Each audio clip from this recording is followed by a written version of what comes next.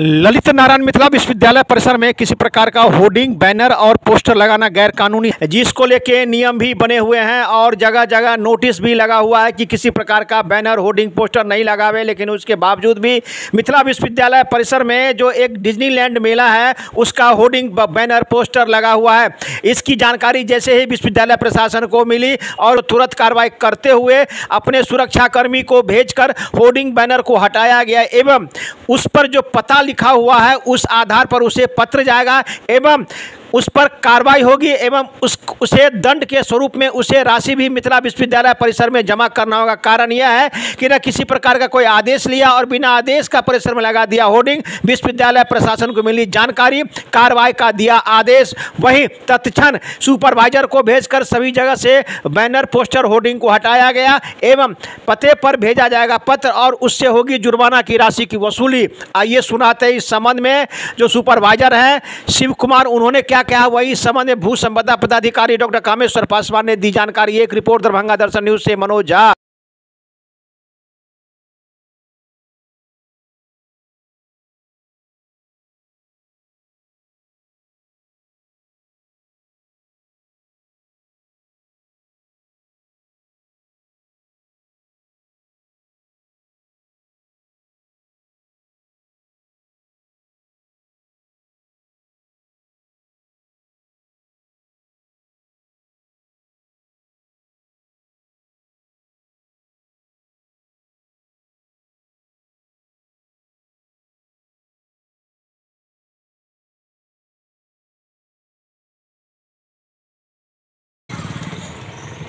अवैध है ये मतलब जानकारी। जानकारी यही मिली कि मतलब कोई मतलब जो है किसी ने आदमी बोला कि आपके एरिया में जो है बैनर लग रहा है।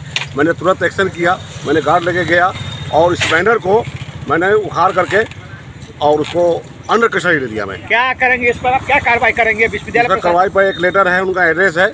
उस लेटर के अनुसार मैं उन लेटर बनाऊँगा। और लेटर बनाने के बाद मैं उसके पास भेजूँगा और मैं ऑफ़िस से बुला करके इसको मतलब पाँच सौ रुपये का फाइन करूँगा। नाम बताइए।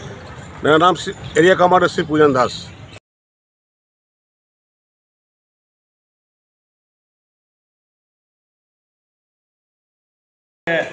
परिसर में करीब होर्डिंग लगा हुआ है क्या जानकारी है आपके पास प्रचार मिथिला के लिए? विश्वविद्यालय परिसर स्थित जितने भी जगह है मिथिला यूनिवर्सिटी के चार दीवारी से लेके बिल्डिंग उस सभी पे किसी भी तरह का पोस्टर बैनर लगाना मिथिला विश्वविद्यालय के नियमानुकूल विरुद्ध है।